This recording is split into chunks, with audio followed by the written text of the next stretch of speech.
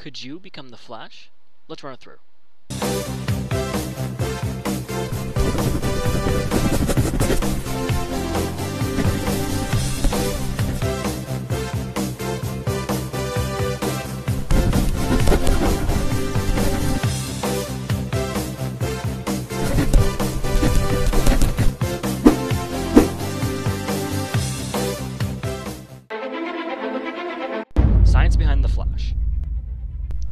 Is Barry Allen, and he is the fastest man alive. In a freak accident involving chemicals and lightning, Barry Allen was given super speed, enabling him to become the superhero of The Flash, fighting alongside the Justice League and protecting Central City. But could this really happen? Could you become The Flash? Ironically, there's no fast answer. Still, let's try and simulate what would happen if you were like Barry Allen. So, how exactly did Barry Allen gain super speed? Well, Barry is what's called a forensic scientist. Forensic scientists are a special type of scientists that study forensics. Forensics is basically the field of DNA study and all that. Usually, forensic is involved in law enforcement, so Barry could also be called a police scientist, although that's a more general term. So, we know that Barry worked with chemicals, as certain chemicals are needed for his profession. We'll get to which ones in a little bit here. So, in the origin story, lightning strikes the chemicals he's working with, and the now supercharged chemicals enter his body and supercharge him, giving him super speed. But could this happen to you? Well, while a lot of Flash is theoretical, this is actually one of the more plausible answers. See, there's this substance known as hydrogen peroxide. Hydrogen peroxide is a big conductor of electricity, but it does a little more. Not only does it conduct, hydrogen peroxide is a main ingredient in making what's called a fuel cell. A fuel cell is basically a machine that acts like a giant battery, using certain fuels and hydrogen peroxide to power itself so it can create energy. And you know what's got to be the biggest coincidence in the world here? Hydrogen peroxide is a chemical often used by forensic scientists to disinfect anything they can pull evidence from. So, it's likely that if you were working on a crime, as a forensic scientist, you would be working with hydrogen peroxide.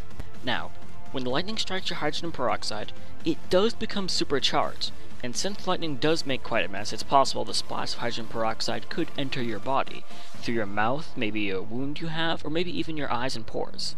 So, it is possible that you could fry, since the hydrogen peroxide is electrically supercharged now. But there's also a possibility you don't fry. Why, you may ask? Let's take a step back to fuel cells. A fuel cell is almost an infinite process. Aside from creating energy for whatever it's powering, fuel cells actually create the very thing they need to fuel themselves and keep going on being a battery. What is this fuel, you may ask? Water. The fuel for fuel cells is hydrogen and oxygen. What happens is the electric charge in hydrogen peroxide gives the fuel cell protons and electrolytes that it needs to create energy. It also needs hydrogen and oxygen to work with those electrolytes and protons to create that same energy. The protons carry some of the hydrogen into the oxygen, where it creates water that then leaves the fuel cell. The electrolytes stay put and create a positive or negative charge, depending on the charge needed for the hydrogen and oxygen to create energy. So, what does all this have to do with you becoming the Flash? Well, your body is about 60% water by the time that you're fully grown. To be fair, that's a lot of water. If you've got hydrogen peroxide that's supercharged in your body and it's creating protons and electrolytes, your body can essentially become a fuel cell for itself. Keep in mind, water is H2O, meaning it's made of two hydrogen molecules and one oxygen molecule. These two sound familiar? They are the main energy makers in fuel cells. With supercharged hydrogen peroxide, you become a fuel cell for yourself, using up water in your body to make energy, and then simply reusing that water to do the same thing. The only issue would be the temperature of your body. A lot of fuel cells run at like 800 degrees Fahrenheit or something crazy like that, and that would kill you, right? Well, we'll get to how that would be avoided in a second here. So, what does this all mean for you? Well, theoretically, you would now be your own source of infinite energy. By this logic, you could, in fact, use super speed in more ways than one. On command, you'd be able to cool down and heat up your body to almost an infinite degree. You can do this because your body already is able to cool down and heat itself up, but on a smaller scale. You've got infinite energy, you can do both to basically an unlimited amount, meaning you would not overheat, and technically you couldn't freeze to death either. You'd be able to make your body just go faster in general, even, as well as make what's called your perception go faster. For those who may not know, perception is how fast you're able to actually understand what you're observing. So, when I look at a black shirt, and my mind identifies the shirt as being black, that's my perception at work. Perceiving things can be hard when things are going too fast, though. When you're on a roller coaster, I doubt you can identify a person with specifically red shoes that have blue stripes here and there from a distance. However, if you were just standing still, you could perceive that almost instantly from the same distance. However, in your case, if you were to become the fuel cell for your own body, you could quicken any process that you have control over inside your body. This doesn't just mean you can make your legs go faster, which you could, but it would also mean that your perception could go faster. So if you were to go, let's say, 200 miles per hour with your super speed, you'd look incredibly fast to other people. And don't get me wrong, that is incredibly fast.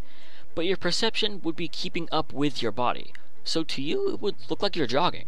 And 200 miles per hour wouldn't even be your limit. In fact, you wouldn't have a limit. Since your body is now a source of infinite energy, you have that infinite amount of energy at your disposal. However, there is one problem. The faster you run, the more particles in the air you're exposed to. Now, normally that's not an issue, but if you were a speedster like the Flash, it would be. The faster you go, the more force those particles exert on you. It's called Newton's third law of motion. For every action, there is an equal and opposite reaction. Basically, the faster you run against the particles in the air, the more the particles are going to push back to try and equalize the energy being exerted. This would actually hurt you, and if you went too fast, it would literally rip you to shreds in mere seconds. So, is there a way around this? Well, there's two possibilities. One is that your body would have some kind of magnetic force field around it that could repel oxygen particles. Now, I know you're all wondering why I took that big of a jump. Force fields? Aren't those, like, not real? Well, believe it or not, recent studies have shown that humans do have some kind of force field around them, and can even feel something without touching it using this force field's energy, kind of like seeing something out the corner of your eye and knowing what to do about it. The only problem is that the air is magnetically neutral, meaning that a force field wouldn't be able to repel it. So, force field is out. The other possibility may be a vacuum. Vacuums, in this case, are basically areas that altogether lack particles. They are the emptiest space you can imagine. The heat in your fuel cell body, combined with the heat from the friction between you and the ground created if you were to go fast enough, could possibly create a vacuum around you, since heat can use up oxygen. However, neither of these would work, unfortunately. I mean, the vacuum itself might happen, but the flaw in both theories is that then you wouldn't have any oxygen. Your body doesn't produce oxygen, and even though your fuel cell body would be making water, humans can't yet take the oxygen out of water and use it to breathe like fish can. So you would just suffocate and die slower than if you were to be torn to shreds by the same oxygen that you needed not to die. So, unfortunately, while the Flash is theoretically possible, it wouldn't end up working out. Could you be exposed to supercharged chemicals that gave you super speed? Sure. Could you use that super speed? Technically, yes, but you'd be gone in a flash. Hey everyone, hope you enjoyed watching this episode of Science Behind Superheroes. If you guys did, make sure to leave a like and also make sure to leave a comment on what superhero or supervillain you guys want me to do next. And also, big thanks to Zane Liddle for commenting about this one. This episode happened because of him, and honestly, he does some pretty good stuff on his channel, so you guys go check him out. And uh, yeah, guys, make sure to leave a comment as for what episode you guys want to see in the future. And have a good day.